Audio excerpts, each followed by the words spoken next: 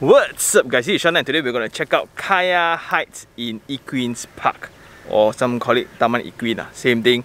Let's go!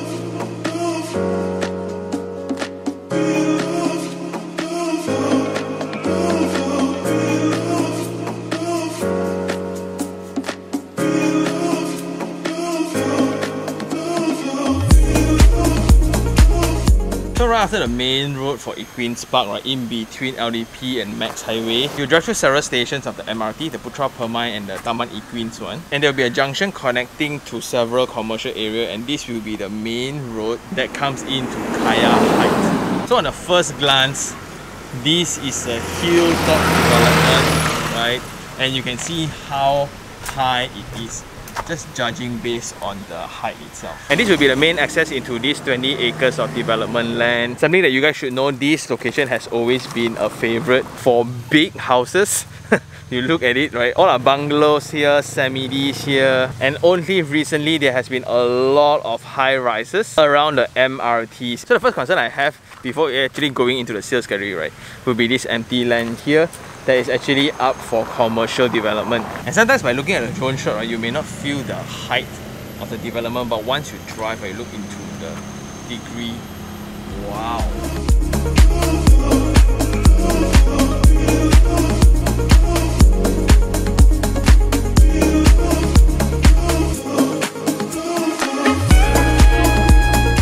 After documenting so many different projects within the city center and we can now really observe the movement of development venturing into the northern side of Klang Valley and the southern side of Klang Valley and we are now at the southern side where we are in between Puchong and Cyberjaya.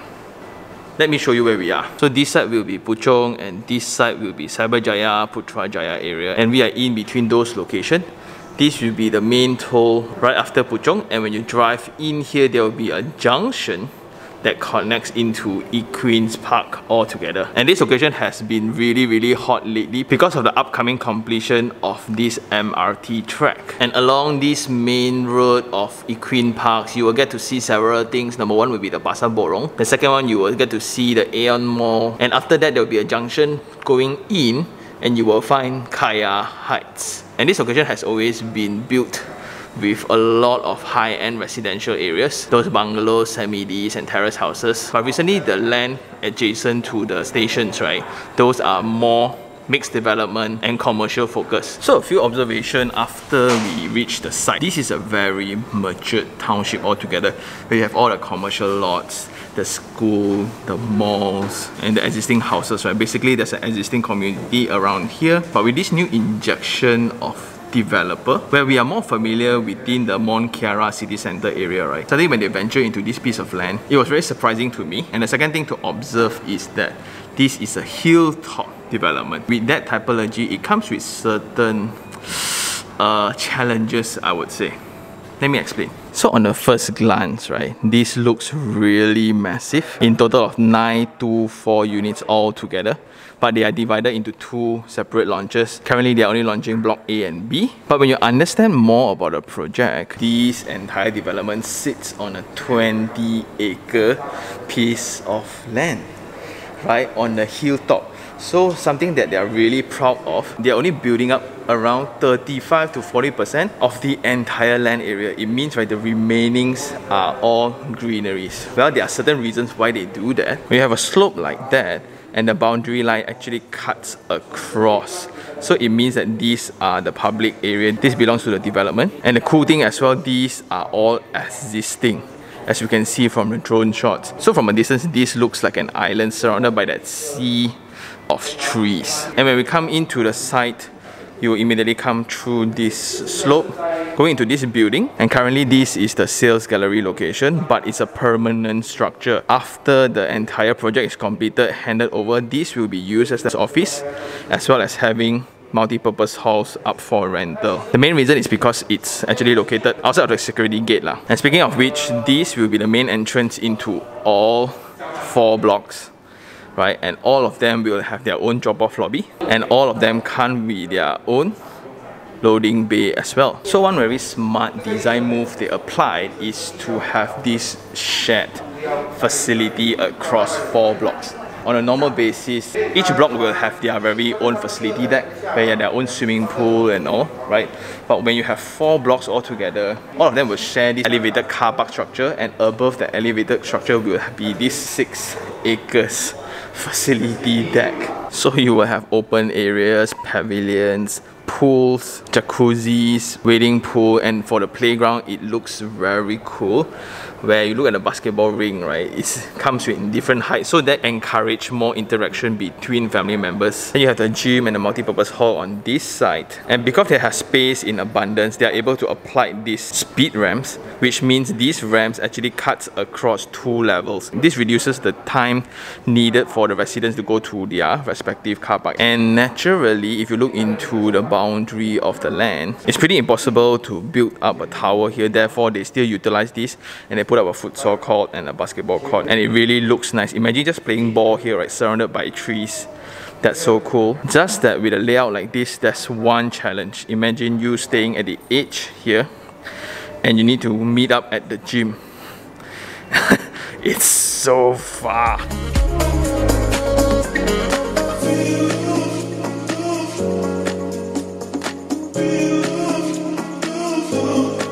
So per floor plate, that's going to be 10 units, right? And it's split into half. So each wing, there will only be 5 units in total, sharing 4 lifts. And if you look into the orientation, all buildings, including the block C and D, all are north-south facing. So that's nice. And there's no air wells, right?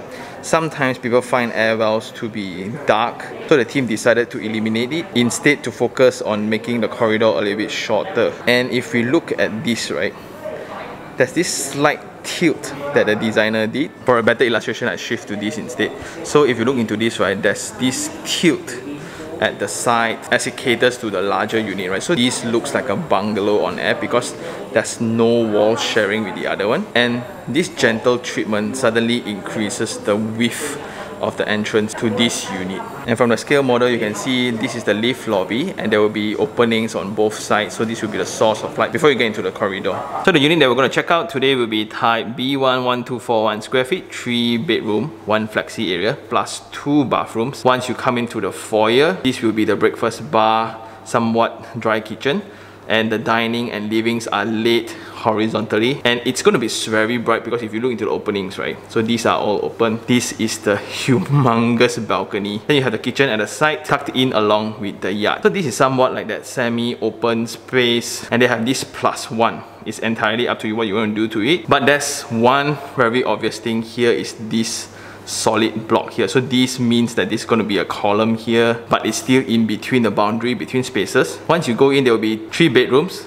Two of them will be sharing this common bathroom here, and this will be the principal bedroom and the principal bathroom. First things first, all bedrooms will have window. I'm just not too sure whether can this fit a double size bed. Most likely it can, ah, but we'll go check it out later.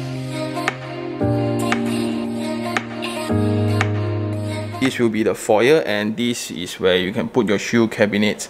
Going into the unit, you will go through this corridor again with spaces at the side and this will be the kitchen space. So coming into the unit, the ceiling height will be 10 feet, pretty standard for all of their projects. And the selling price for this property is going to be around 650,000 depending on which floor that you're going to buy. But I'm enjoying this layout. As you have the dining and the living arranged in this manner. It's so awesome. Plus you have all the windows on this side. It's to be so bright. However please bear in mind that this is a show unit. The unit that you're to get is to be bare. Only aircon pipings and the water heaters lah. but just in case they update do always check with the sales staff. Because of this column right here the show unit suggests that this can be your dry kitchen area or can be your breakfast counter area as it's located next to the kitchen and it may look different to the drawings because they kind of add in a wall lah. So going into the kitchen and it can nicely accommodate your hood and hob, your basin and your fridge and it comes with their own yacht. And something to highlight above the door, they have this extra panel of window for ventilation so that's nice. And moving into the yard space. So this is rather spacious and what you can see here, this will be the louvers. This may not be that important but I really appreciate the treatment of the tilings here. So they just added this inch of tile color from this so it looks way neater.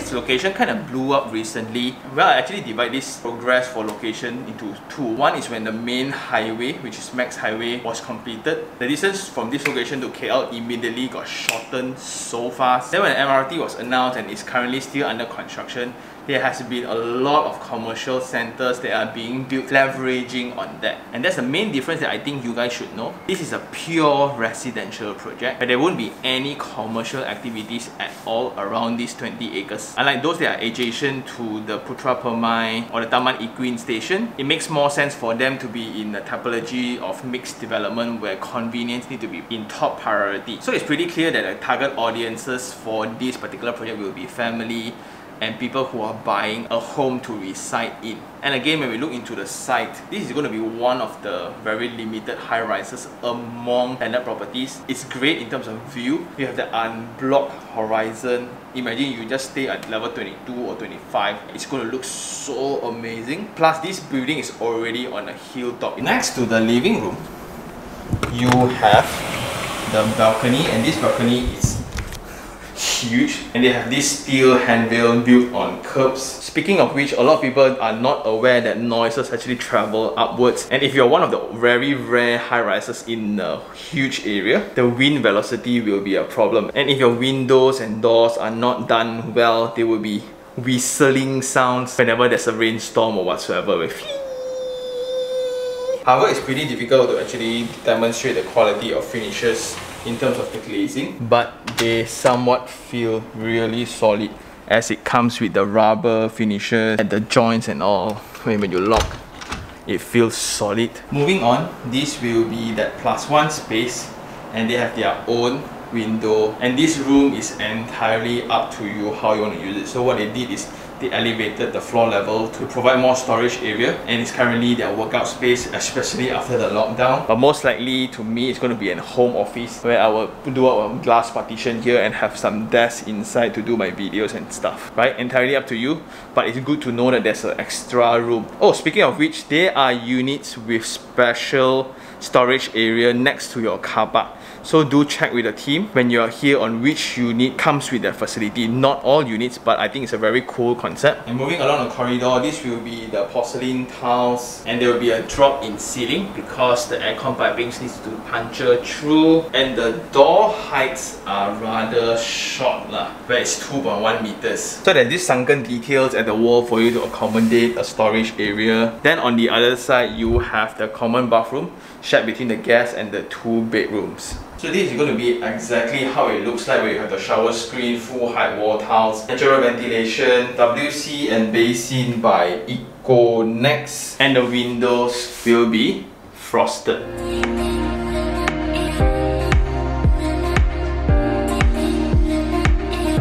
Moving on, this will be the three bedrooms on this side. Okay so let's check this one out first. This comes with laminated timber flooring. So they designed this into a kids room and it's rather spacious. Just that I noticed that the windows around the unit are just like sufficient type unlike the ones that we visit in the KL city center where it's all full height extended all the way kind of thing. So this is pretty obvious that they are controlling the cost in accordance to the market needs around the area. So that's nice. And there'll be a drop in ceiling height here this king here is to accommodate the storage room outside. And moving on this will be the second room. And this is where you can accommodate a queen size bed along with a window cabinet there. Then you have timber flooring timber skirtings and this will be the space for your wardrobe. But this detail here I'm not too sure. This seems pretty tight because after you put in the door right if the door open this side you'll the bed. Then it's impossible to sit there anymore. But if you open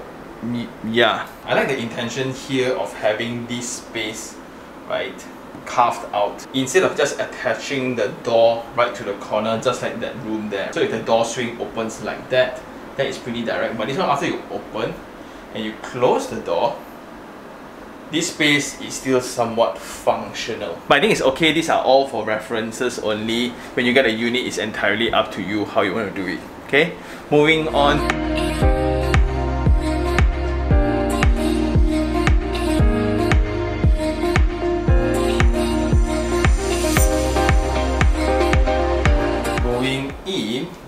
Have the principal bathroom here and this will be the principal bedroom. It's as wide as the living space because after you accommodate a king size bed here, there are still so much space around the bed even after they accommodate the wardrobe space in front of the bed. Usually it's attached to the wall next to the toilet but this is different. So the distance from wall to wall here it's just so luxurious. However, the window size are not full height all the way. It's only built from here to here. But if it's built all the way, right, it's not going to be this price though. and next to the bed, this will be the principal bathroom. Full height wall tiles. I like the tile texture. There's a window for ventilation, shower screen, shower, WC and basin by Eco. Next and I think that's all for the layout and you can really feel the DNA of this developer across their product because they have done this kind of layout so many times and it's really sufficient as they separate out the open space with the private space. They smartly carved out the storage area, smartly carved out a plus one area. Although there's a beam here, they designed the show you need to somewhat suggest you on how to rectify the issue. Then have a very squarish kitchen at the side, that's nice. But again, as we've discussed, there are some cost cutting measures in order to match the selling price with the market around this area. So I guess that's all for the tour in the sales gallery. Let's go around and check out the site.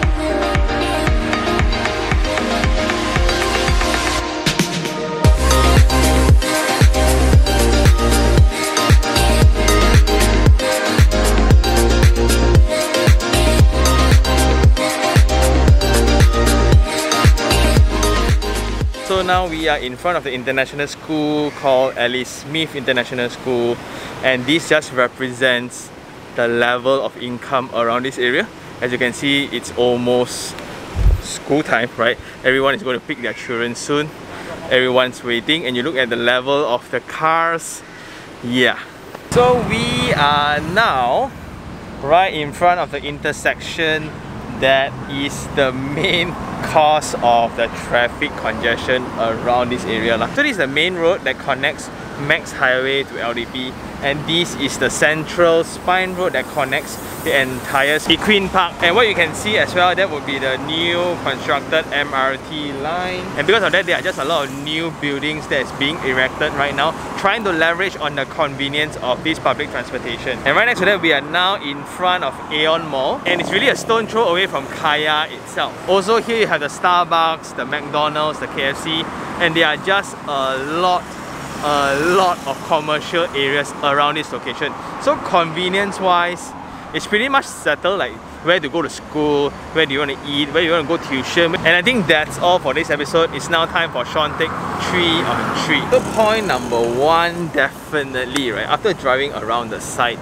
I really enjoy the maturity of the location because this has been around for very very long and it has always been that location for super high-end mansion. People will just buy land and build their own dream home here but after the completion of MEX Highway and the new announcement of the MRT track along this route, suddenly people start to notice this particular plot of land in between Puchong and Putrajaya all together. Right after the completion of the project, right, let's say the project is completed three to four years later, everything is sorted out. Where you go to school, where you have your lunch, where the kids go to tuition, ballet school, shopping malls, parks and etc. Everything is readily available. But my favorite of all they are just commercial areas in abundance. And very close to that, the second point will be this project being a fully residential project. If you look around the drone shot, if you look around the site, there are just a lot of buildings in construction and most of them are commercial oriented or mixed development. Those are products that are leveraging on the convenience element and it's mainly for investment purposes. So those you really gotta take into consideration the rental returns,